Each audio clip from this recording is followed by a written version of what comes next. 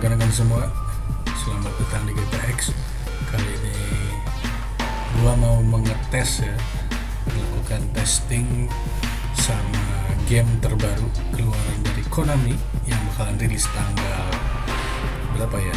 Bulan September lah pokoknya. Dan demonya saat ini sudah rilis kan? Kita bisa coba secara gratis.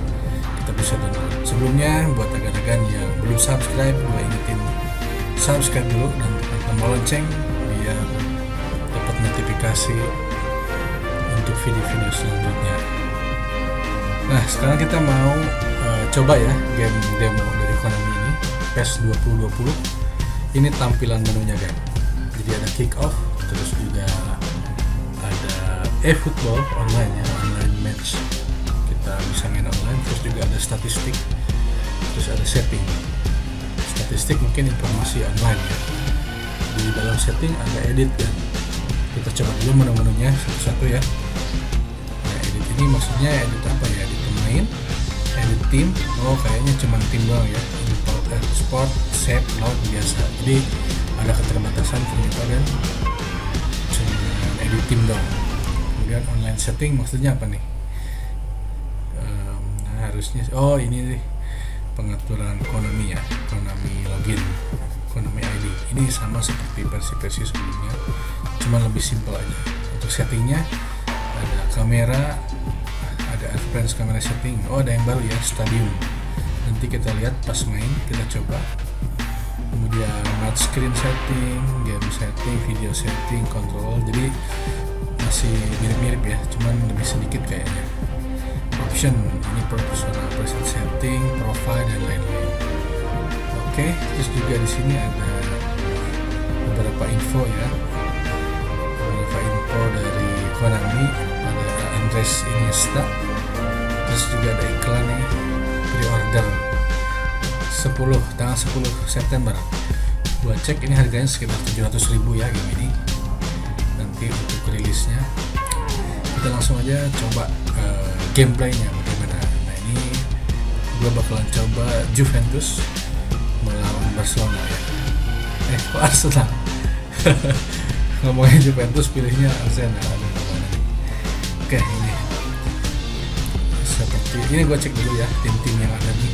Colo-Colo Corner apa tuh Flamengo River Plate. Ini kayaknya tim-tim dari uh, Amerika ya Amerika Selatan. Oke, kita coba Juventus saja sama Barcelona. Jadi sekarang Juventus, MU, Bayern udah resmi menjadi partner ya. Nah ini untuk seragamnya. Ini salah nih seragam kedua Juve itu warna tulisannya merah nih. Tapi dia kayak musim lalu kayaknya. Mungkin belum update ya. Untuk hanya ada dua uh, jersey.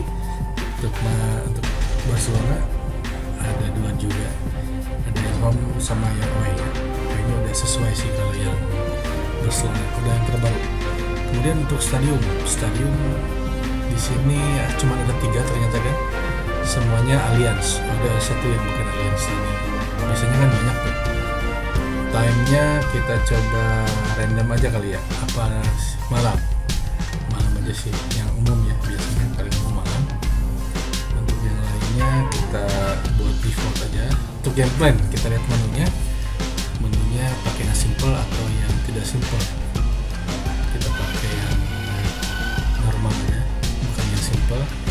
sama ya ini kayak uh, PES 2019 buat teman-teman yang pernah main atau sering main ini sama sekali sama persis ada perbedaan. Settingnya bisa setting macam-macam kecuali match time ya. Oh ini cuma 5 menit berarti nggak bisa diedit lagi untuk yang versi demo ini. Oke kemudian juga adjustment kamera setting ada yang baru di sini yaitu stadium mungkin ada beberapa yang baru lagi. Nanti kita coba ya pas kita lagi main. Kita sementara pakai yang stadium dulu. Ini baru soalnya kayaknya. Ini fitur unggulan dari PES 2020 ini. Oke. Settingnya sama kayak ini kayak setting yang di depan tadi kan? Sistem setting video setting. Sekarang kita pakai yang medium dulu untuk uji coba kali ini. Karena ini defaultnya dari sononya. Kayaknya mungkin komputer gua sanggupnya di medium kali ya untuk untuk performa optimal. Tapi nanti gua mungkin bakalan coba juga yang high. Gua pengen tahu apakah komputer gua kuat dan kualitasnya bagus. Ntar kita coba ya. Oke untuk loading screennya sama sih. Menampilkan tips-tips. Kayaknya ini ada perubahan ya dari yang sebelumnya. Hanya saja memang uh, grafik grafisnya beda gitu backgroundnya segala macamnya. Lebih fresh gitu Ush, ini dia. Stadion uh, Allianz Arena antara Juventus melawan Barcelona. Jadi memang secara default uh, bawaan Persidemo ini nggak ada suara komentator ya. Jadi sepi aja kayak gini. Nah ini uh, seremoni ya ketika pemain masuk ke lapangan tidak ada yang berbeda sih menurut gua dengan versi yang sebelumnya. Di PES 2019 persis kayak gini cara jalannya cara orang-orangnya uh, apa mengangkat kayak tadi ya kepada penonton. Nah ini formasi Juventus ada Ronaldo, Dybala dan kawan-kawan. Kemudian juga uh, ini dari Barcelona Coutinho masih ada di situ Lionel Messi Rakitic. Belum ada yang baru ya siapa tuh namanya? Frank De Jong ya. Juventus juga kayaknya belum ada The Light The Light The Light belum ada. Oke kita mulai aja. Kick off babak pertama. Gua bakalan jadi komentator juga. Karena sepi nih yang nggak ada komentator bawaan dari sana. Oke ini buat terasa uh, bermainnya feel pada saat memainkan gamenya ini mirip sih cukup sama tapi kayaknya speednya lebih santai ya. Nggak terlalu cepat gitu. Speednya itu lebih realistik.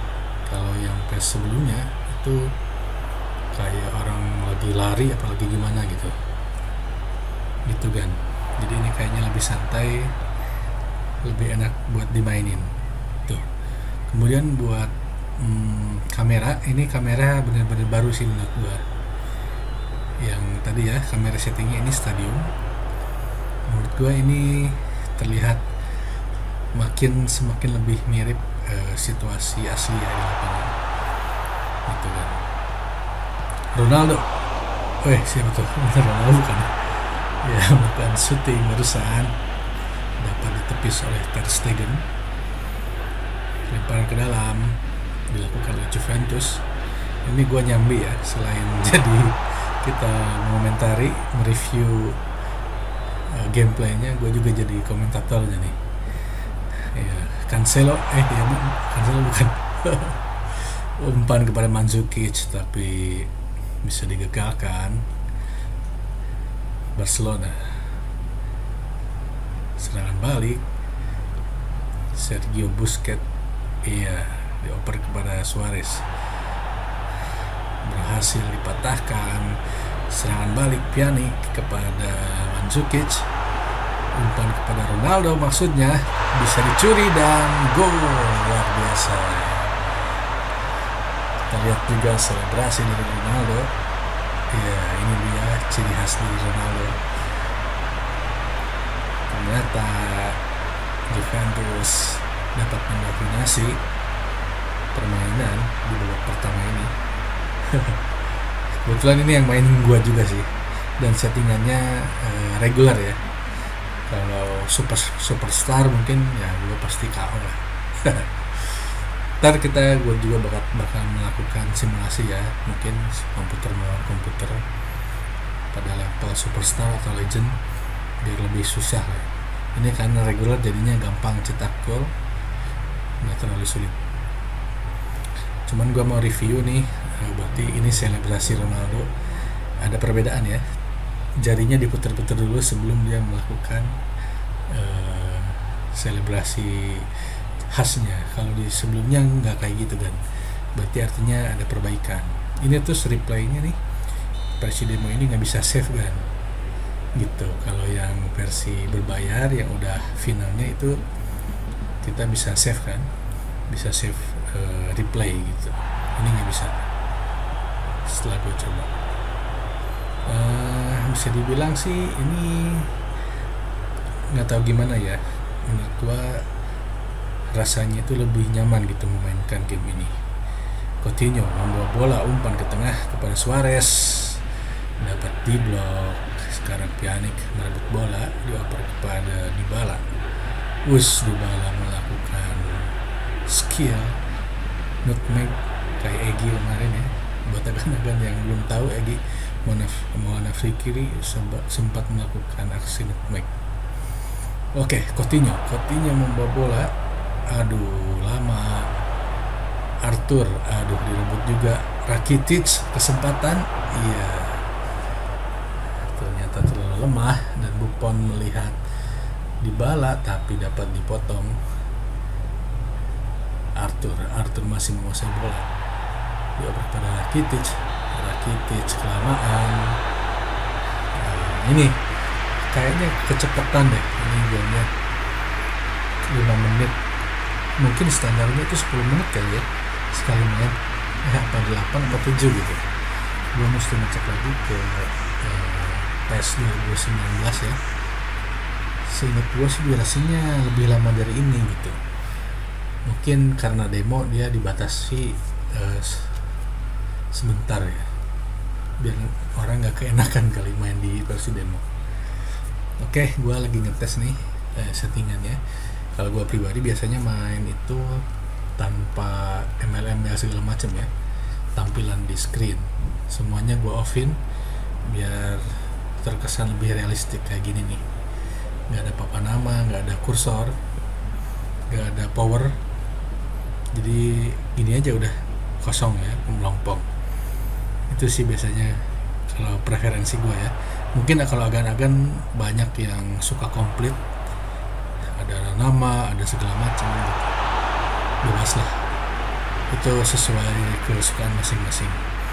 Kalau gue sih mungkin biar clean aja layar biar nggak ada rame-rame apa segala macam. Itu sih tujuannya sebenarnya oke ini untuk settingan versi apa namanya? Versi kosongan ya screennya. Sekarang kita mau coba yang lain. Eh, kita coba yang live broadcast ya. Tadi stadium versi yang baru kalau live broadcast itu kamera mirip kayak lagi siaran TV ya kayak gini nih. Tuh jadi uh, posisi kameranya itu kayak lagi uh, siaran langsung pertandingan sepak bola gitu, live broadcast. Lah kayak lagi live. Cuman masih ada tip-tip ini nih. Kalau gue sih oke-oke aja lah. Biasanya jarang dibaca juga gitu. Oke. Kembali lagi Juventus menguasai bola. Bonucci memainkan bola dioper kepada Celini Celini ini dioper lagi kepada Cristiano Ronaldo membawa bola Matuidi. Matuidi kembali lagi. Alexandro. Alexandro kepada Matuidi. Iya. Di kanan siapa ini? Cancelo. Cancelo kepada Mandzukic. Matuidi kepada Ronaldo. Ronaldo melebar sepertinya kepada Alexandro crossing tetapi sayang sekali bisa diblok oleh Gerard Pique ya Oke itu uh, review buat uh, kamera live broadcast ya. Sekarang ini wide. Kamera wide ini biasanya kamera yang paling sering digunakan oleh para pemain PES ya. Dari zaman Winning Eleven, zaman Winning Eleven gue main juga dulu pakai mode ini. Wide mode favorit ya favorit. Ini bedanya kalau misalnya broad live broadcast itu dia kameranya itu diam cuman ke kiri ke kanannya gerak. Kalau wide itu dia uh, ngikutin gitu kameranya itu. Kalau bola ke kiri dia geser ke kiri. Itu kurang lebih kayak gitu ya. Stadium juga sama mirip kayak live broadcast si kameranya itu diam cuman ke kiri ke kanannya kayak nengok-nengok gitu. Nah ini apa tadi gue pilih? Uh, dynamic wide ya. Ini versi wide cuma dia kayaknya ke bawah ke atasnya ngikutin gitu. Kalau wide doang dia kiri kanan uh, ketinggiannya tetap kalau ini ke atas ke bawahnya ngikut nih. Kalau bola lagi di sebelah sini kameranya ke sini gitu. Tuh, kalau ini kalau bola lagi di sana dia ngejauh gitu. Maksudnya ngedekat ya kameranya nyamperin lah. Lebih namanya juga dynamic wide uh, luas tapi tetap dinamis mengikuti. Kalau yang wide doang kaku statik dia. Itulah kurang lebih ya. Oke ini uh, tenangan bebasnya masih ada tips-tips ya tadi informasi-informasi yang muncul buat uh, must, mungkin mesti ada setting tambahan ya buat menghilangin menu-menu itu gitu. Us malah juggling. Siapa tuh? Belagu ya. Dioper si Alexandro nih. Dioper malah juggling dia. Messi lagi. Oke. Kesimpulannya tapi gua mau coba lagi nih. Ini kayaknya baru nih. Baru apa enggak ya mid range ini. Kayaknya udah ada sih. Di yang sebelum-sebelumnya juga udah ada. Nah ini field side sisi lapangan. Nah ini kayaknya baru nih. Gua nggak tahu di 2019 mid apa field side ini udah ada apa belum ya? Jadi si kameranya kayaknya uh, geraknya itu kiri kanan doang tapi di sisi, di sisi dari sisi lapangan. Gitu kan. Tuh kiri kanan gerakan jadi dia benar-benar dari pinggir pinggir lapangan. Ini kayaknya kameranya di tribun bawah ah udahan. Bentar banget ya 5 menit. Benar kayaknya nih durasinya terlalu pendek. Nanti mana nggak bisa diubah lagi optionnya jadi ya ya segitu aja. Buat para pengguna nggak bisa